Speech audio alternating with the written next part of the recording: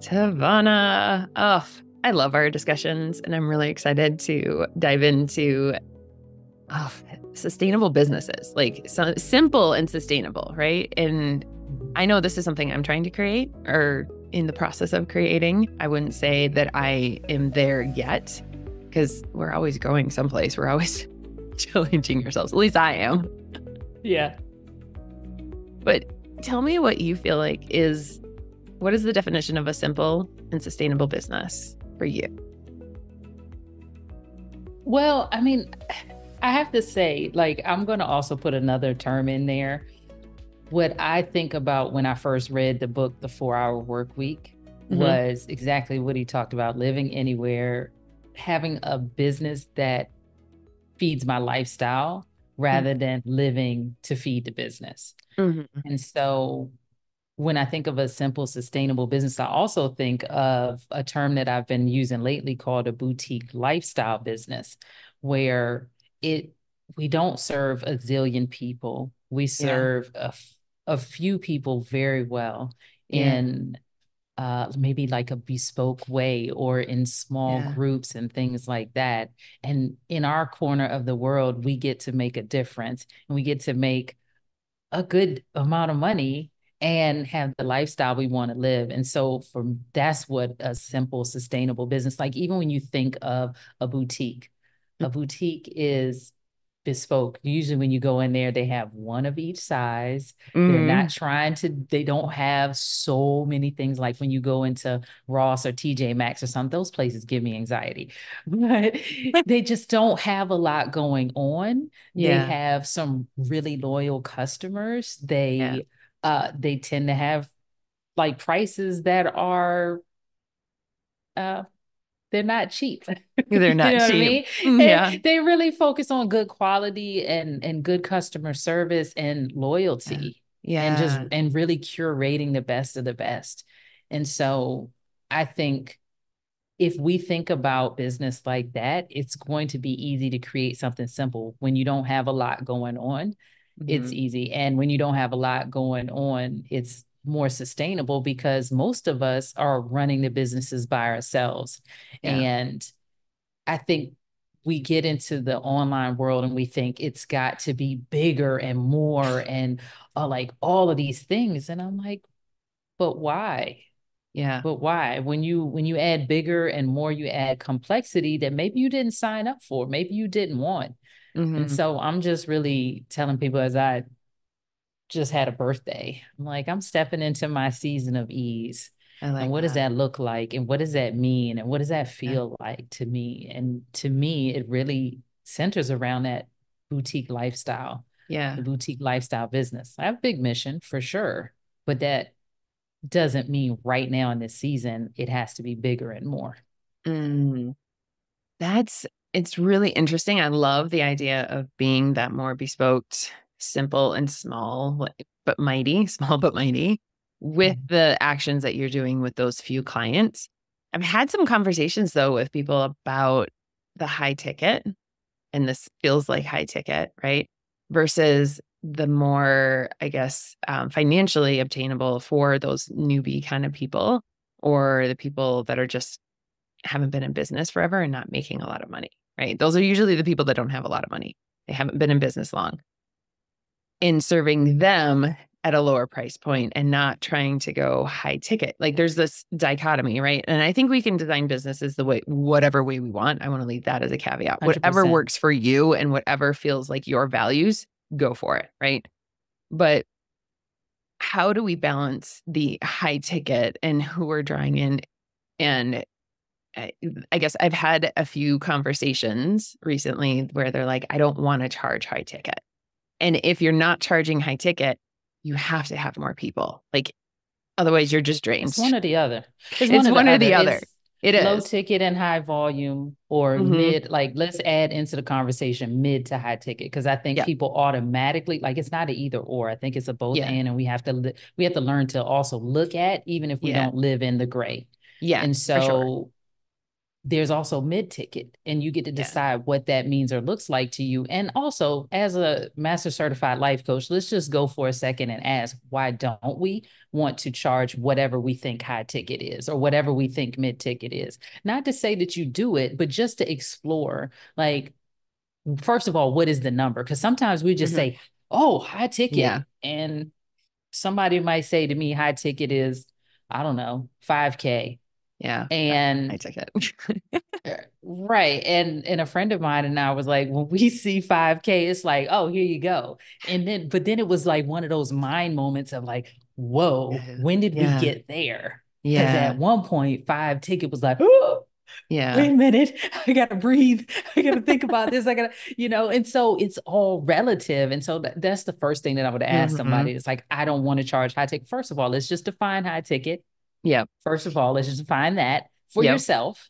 Yep. Let's talk about why you don't want to charge that and what's coming up for you. You're the boss of your business. You always get to charge whatever you want to, but just like at least explore and understand why you're making a decision so that mm-hmm. you can feel good in it and your decision is rooted in maybe the data and not the drama of it. Mm. Mm, so yeah. that's the first thing that I would say there. The second thing, when people tell me that they don't want to charge high ticket, it's like exactly what you said, Rachael. It's like okay, are you are you willing to play the high volume game then? Yeah. Yeah. And do you understand what that requires of you? And are you willing to do it? If you understand what it requires of you and you're willing to do it, then go be great. You have my blessing. But if not, like, because I don't know about you, Rachael, but I got bills to pay. And yep. If if we say, oh, I don't want to charge high ticket and you need, I don't know, uh 5,000 is the number for today, $5,000 to live, and you're charging $97 a month, you need 500 more than actually 500 people mm-hmm. in mm-hmm. there to be able, not 500, is it 50? 50 people, 50 people. to be able to every single month if you're charging $97 for a membership for example, or if you're charging mm-hmm. $97 a session. So, my question to people is always like, if you're having trouble getting clients now, mm-hmm. do you want to go try to do that 50 times every month? Mm-hmm. Then it goes to a question of okay, if we've already done the the math and we've done the mindset work on why don't we want to charge high ticket? Sometimes the reason why people don't want to charge high ticket is because they don't feel confident in the yes. services that they're providing. Yes. We of course are good people and we want we don't want to quote yeah. unquote take people's money, be yep. shysters and scam artists. We want if people are going to pay us whatever the amount is, whether it's 97, 997, 9,997. We want to make sure that people get the results. So then you yeah. got to ask yourself, are you trying to sell something that is not in your wheelhouse? Mm. And maybe you go address that instead of the price because I know people right now in today's market that are going out and buying cars. Cars cost tens of thousands of dollars. Mm-hmm. I know people going and buying televisions that cost hundreds of dollars. So you can't tell me that people are not spending money and spending lots of it today yeah. when they see the value for the thing. So. And that's the thing is they have to see the value. And I think a lot of people, and I'm guilty of this in the past as well, of like just trying to solve all of the problems. And what ends up happening is you end up diluting the message because you're trying to, like, well, it can solve this, this, and this. It just depends on the client, or it can solve this, this, and this. Depend. Uh, it it ends up diluting things because you're trying to be all the things to the person and that person may not want you to be all the things and you can't communicate clearly what the end result is if you're trying to solve all the problems. That's a lot of what I see. And usually, when you try and solve all the problems, you're not confident in solving one problem, in one very specific problem. Right. So you try or solving like, all the problems for all the people. It's like I yeah. can do this for everybody yeah. and their mama and Sally yeah. Ann and yep. Johnny Joe and all of these things. And I don't. It's been my experience personally and with clients is just like this fear we talk about scarcity, this fear if like I already am not getting what I think is enough clients. And if I narrow yeah. down, I'm definitely not going to have enough clients. And yeah, what I found is like the opposite is mm-hmm. true. And so the exact yeah. opposite is true. You can you can speak yep. so much clearly when you just draw a line in the sand for your people. You say yep. like I I'm here for you. Yeah. Not everybody. I'm here for you because it's just like we were talking about with results. If you get really good at helping a specific person with that result, it's just like it's is no comp it's no contest. It's like no confusion and no contest. That's yeah. what I like to say. Like totally. You, you got to go to Rachael. If you're into human design and copywriting, go to Rachael. She's your girl. Yeah. Yeah. It creates a blue ocean, really, because you're so you're more specific. And I want to say that for manifestors and ManiGens, they have a like almost have a heart attack when you start to go, wow, I have to get specific in something. And this is something I've struggled with as a ManiGen. Um, and I want to say that it's only a specific offer that you're getting super specific about. Like your overarching core messaging and the things that you want to do, the vision that you have as a manifestor are can be really broad. It could be for as many people. Do you have an offer for them? Maybe, maybe not. But allowing your offers to be that specific point and not the like big overarching core message, if that makes sense. Mm-hmm. Well, yeah. and I also like when I'm working with many ManiGens and the people that are multi passionate. Yeah. I also like, how about we just pick a person that has a lot of different problems that you mm-hmm. might love to solve? Mm-hmm. And so yeah. then that way, if we're talking, for example, women in midlife, mm-hmm. they have a number of things that they could be dealing with, and you go go to town to your heart's desire on all of the different things. Yeah. And figuring out, but you're still specific in who you're working with. So that's another yeah. way that that I have found that gives the ManiGens a lot of comfort. It's like, oh mm-hmm. no, we're not putting you in a box or constraining your creativity. Yep. We're yeah. just saying do all the things you love to do for your favorite like group of people and then that way everybody know that everybody in that group of people knows to come to you and then you get to play with mm-hmm. all of the different things that you help them with yeah yeah i love that so if you're creating a like bespoke business i love this idea um where like where does it start do you have an offer suite is it one offer like what is tell me more about how you look at creating this bespoke business Okay, so first I have to say I'm a generator. so I'm just going to put that out there. And I happen to have a ton of projectors. Again, a ton yeah. of projectors and a lot of manifestors. But oh. a ton of, yeah, uh, mostly projectors. Some manifestors and and uh, some generators. But the way that I look at it is like what's your signature solution? And so mm-hmm. I start with what I call the five P's. So, who are your people? What is their problem or their problems? Um, what is the process that you're going to take them through to help them get from problem land to mm-hmm. promised land? And then how do you package and price this thing? Mm-hmm. Okay, so those are those are the five P's. And we start by looking at the people and their problem or problems because if you know what their problem is, then you get to decide what's your solution to it. So mm-hmm. in your case, Rachael, you decided to combine human design with copywriting because your people yeah. couldn't create, they couldn't communicate clearly so that they could yeah. get clients. Yeah. And you have a very specific way of doing that that other copywriters don't do. So your signature solution is to combine human design with copywriting so that they can create mm-hmm. clients through the words that they write. Mm-hmm. And so we start with again who we know, you know entrepreneurs, what's the problem? Not getting clients, need to learn how to write, whatever. And then what's your process, your signature solution for that problem is human design and mm-hmm. copywriting. Mm-hmm. And so then we would figure out like what are the elements of that solution? It doesn't have to be step by step, it doesn't have to be step one, step two, step three, but what are the elements mm-hmm. of that so that you're clear about that. And then I think for like we were talking about for the ManiGens, if you have different elements of that, each one of those elements could be an offer potentially, mm-hmm. or you can put them into one signature offer. So that's why I said, how do you package it Yeah. Another piece of the five P's because you have your overall solution. Like if you were to take your people with this problem from A to Z, yeah. What would that look like? And then you can decide, am I going to package it into one big everything but the kitchen sink kind of thing? Mm-hmm. Or am I going to have an offer suite where I do one part and then I do mm-hmm. another part and then I mm. do another part? So that's really how I would have people think about it because then that way it's not disjointed. I think so many of us get out here into business and we just start offering things rather than figuring out well, what do I want to be known for? Who do I want to be? Mm. Oh, helping? absolutely. Yeah, absolutely. I see that a lot. And I think we can also package things the the specifics, the assets that you get are can be different too. Like you could offer the same methodology in a group program with recorded content as you could with one to one.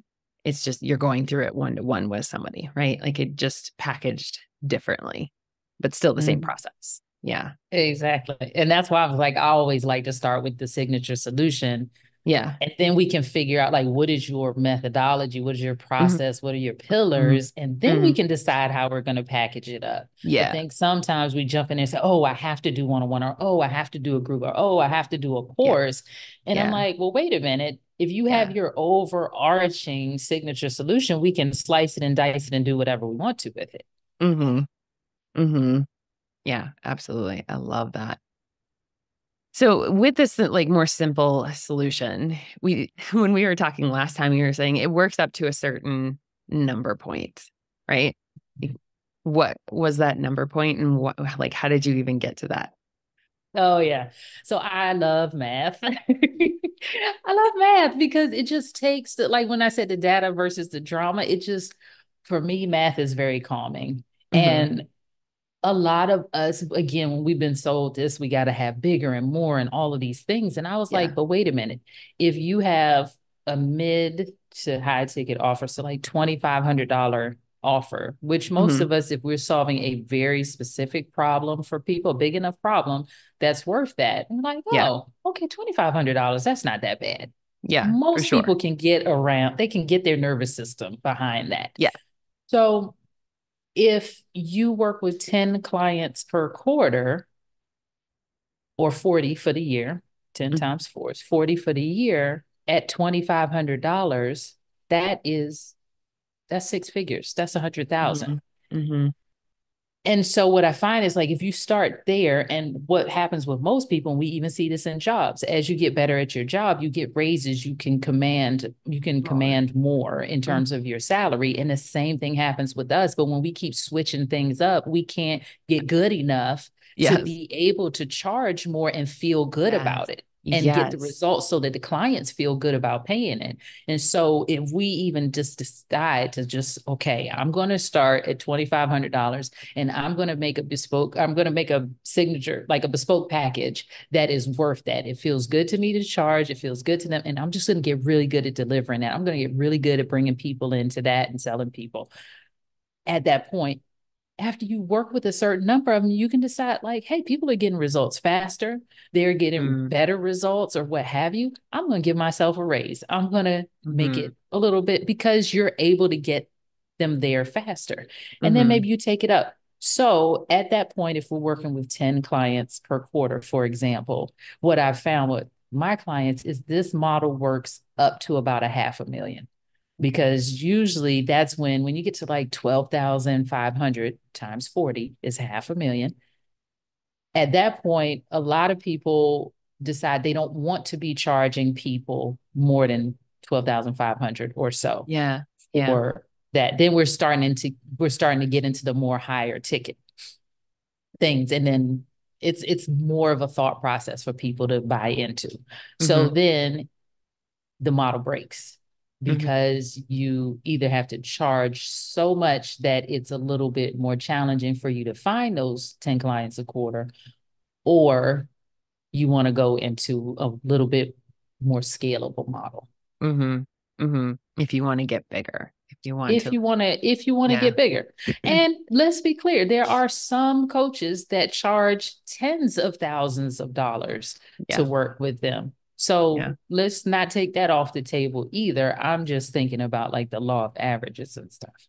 Yeah. And that where most people are at. Yeah. It's not right, that it's not possible, people. but it's where most people are at. Yeah. That totally makes sense. Um, and I love what you said about if you're consistent in eh, like the consistency piece of it of committing to figuring out what this signature process is.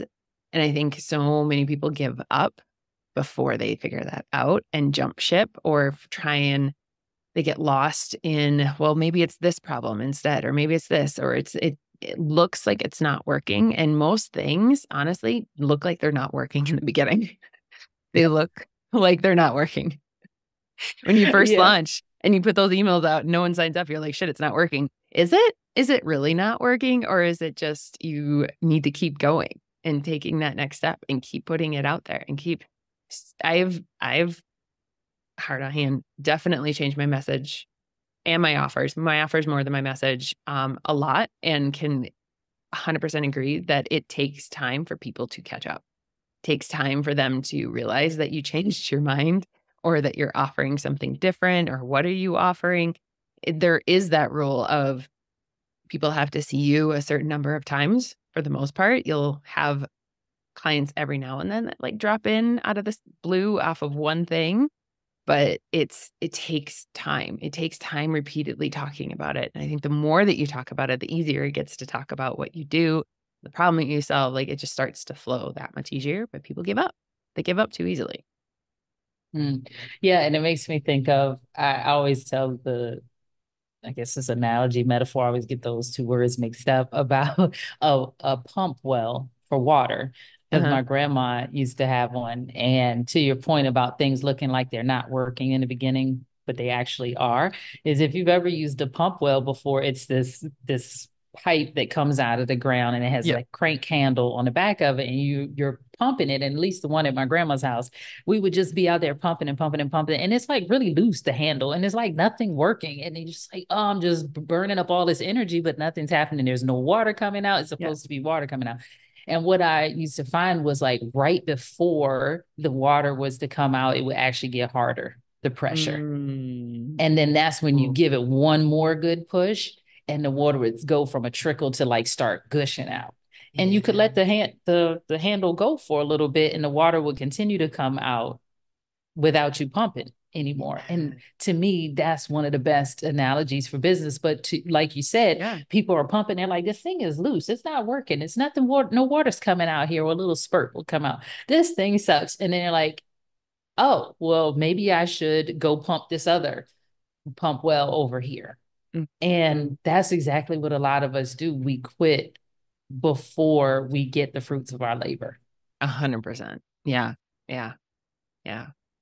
I think another piece to add to this is that um, we jump into things too soon, or from a pers- like an egoic perspective of, oh, so and so is doing that. I want what their result is, but you don't necessarily want to do the work to get there, or the way that they've done it is not aligned to you, right?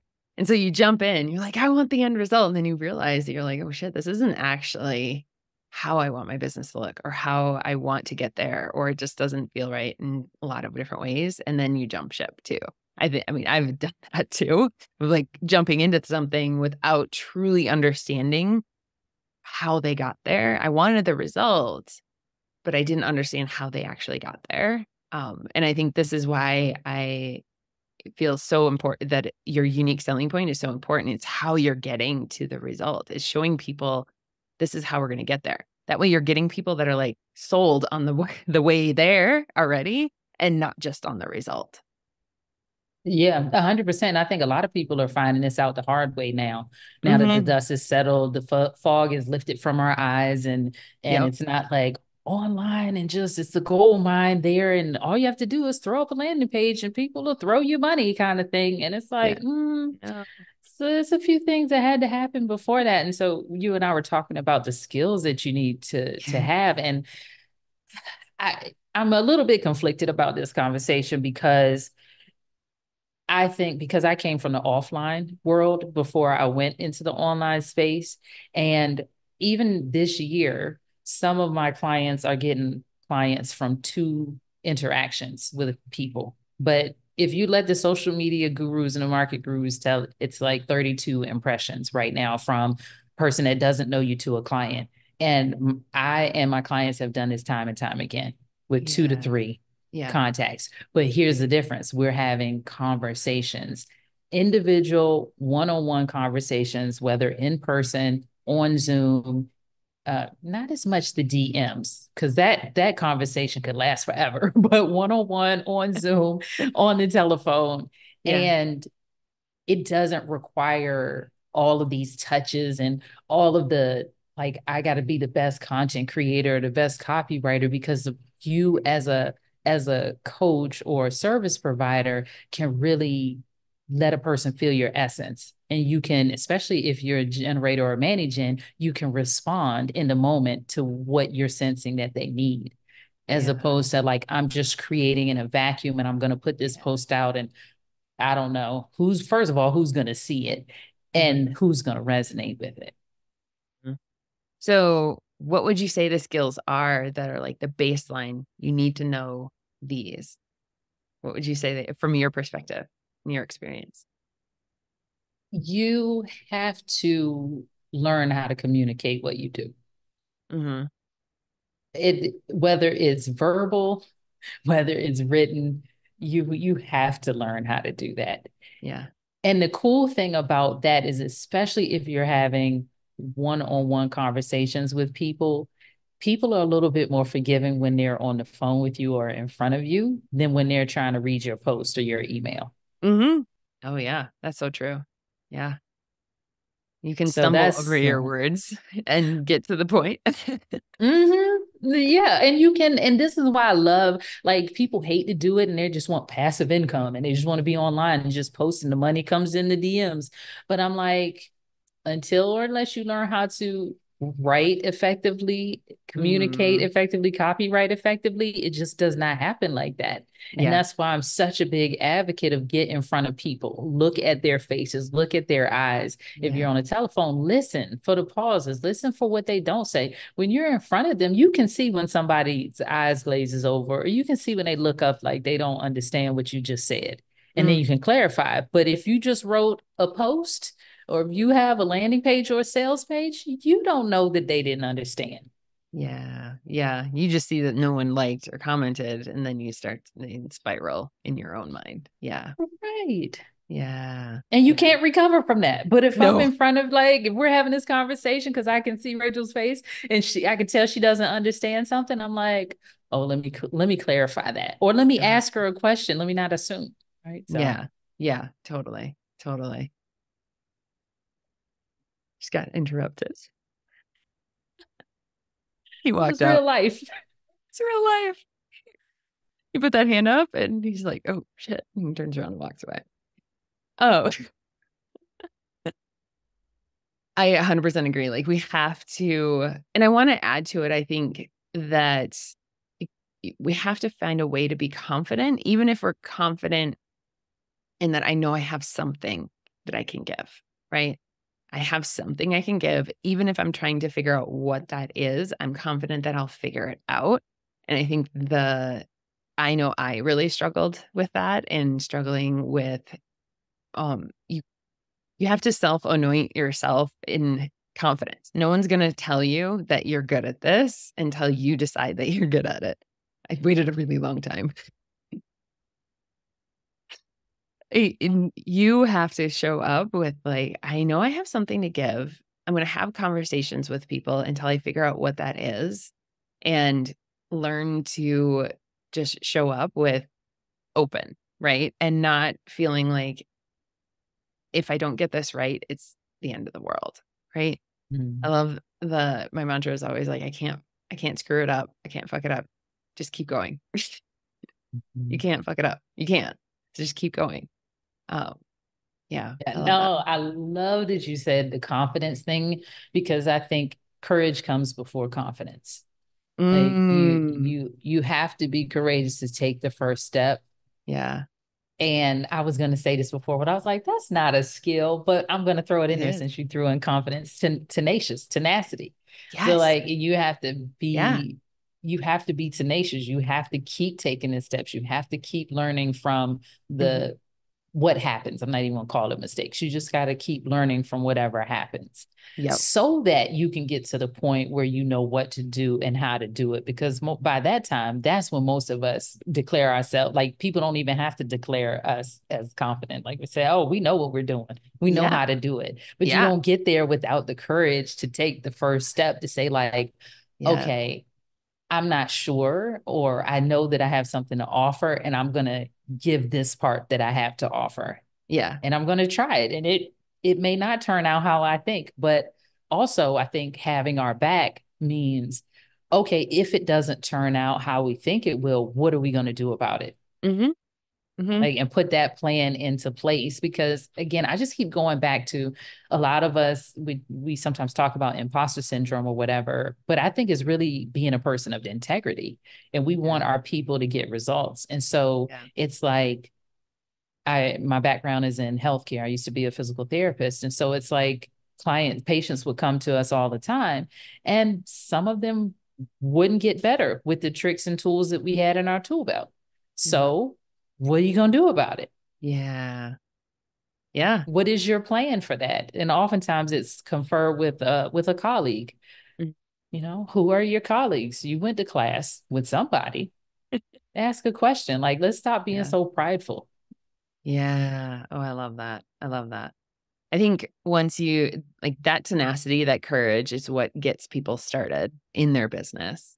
And then what would you say are two or three like hard skills, like hard skills being like messaging, um, that would take someone from that beginning stage to pretty consistent and maybe scaling up to that 500K mark of the bespoke business? Like, what are the skills that they need in order to get to that point?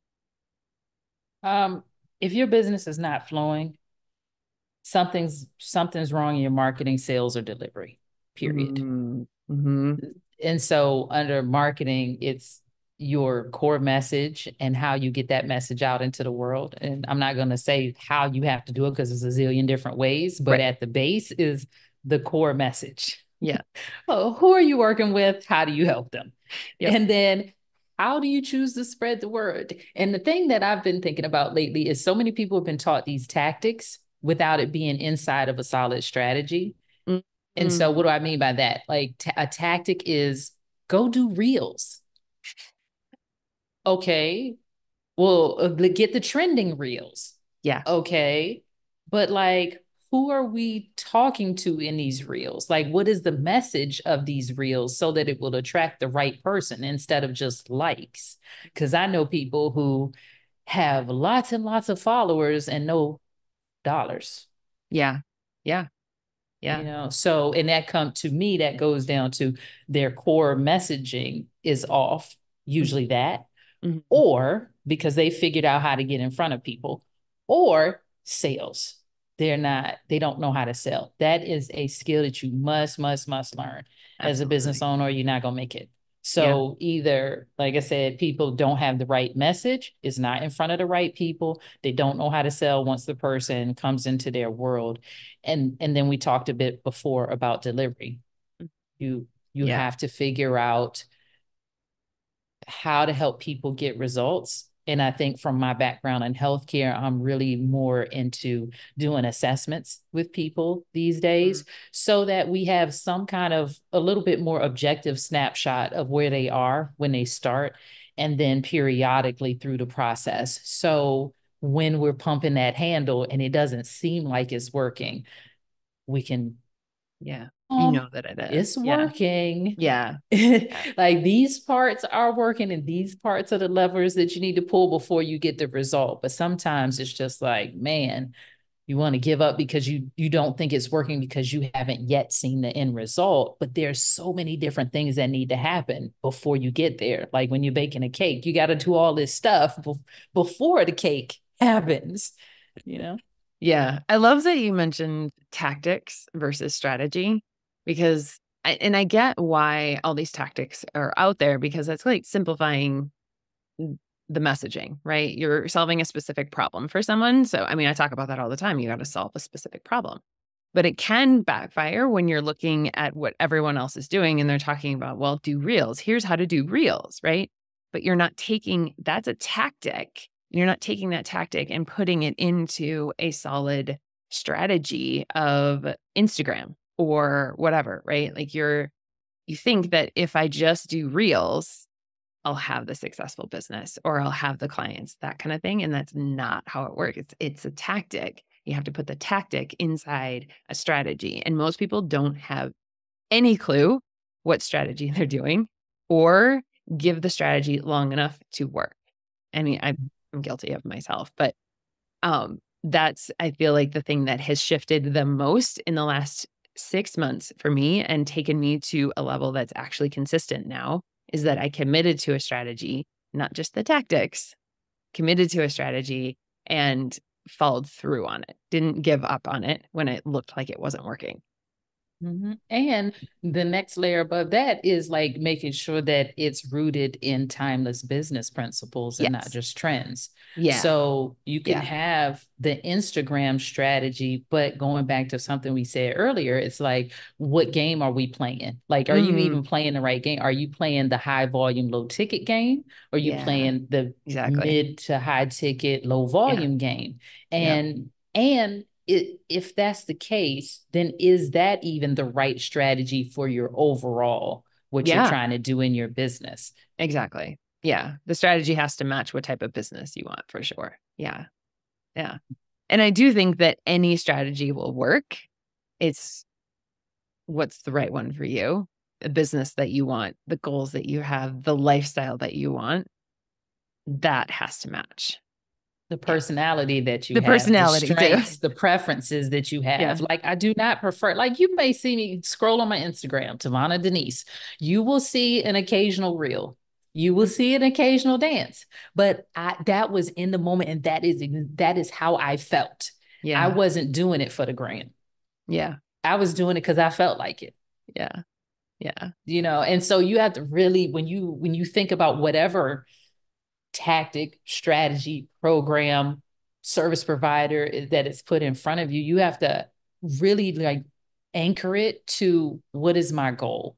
What am I trying to do here in my business? Mm-hmm. Anchor it to what is what is my personality? Like I said, season of ease. Okay, if if I have to fight too much against my personality, why? Why would I do that? You're gonna be really crabby. You're not gonna you like know, it. Yeah. Either you're not going to be able to do it or it's going to yeah. burn you out or it's yeah. not going to get results because everybody knows that you're hating it while you're doing it. It's just like, why? Yeah. I am yeah. all for mindset. Change your mindset. You heard, totally. I started out this conversation saying change your mindset. And also, how about we start with an aligned strategy because stuff is still going to come up when yeah. when you are using the even the most aligned strategy so why don't yeah. we give our put ourselves in the best position to win yeah, absolutely. Yeah, because things do come up even when everything is really aligned, everything feels really good. There's still going to be shit that comes up that you have to navigate. Yeah. 100%. Mm, this has been such a great conversation, Tavona. I love talking to you. Look, I got to see one of the charts with our uh, charts are superimposed on top of each other. Yeah. I bet you we're we're uh, completing a bunch of little circuits because we are. Yeah. We just whenever we get on the phone, we just talk so much. oh God, It's so good. It hits on such I mean, so many facets and yeah, I love it. I love it. Awesome. Thank you. Thank you, Tavona, me. for coming on the You Babe podcast. Again, I love having you. Thank you. Love being here.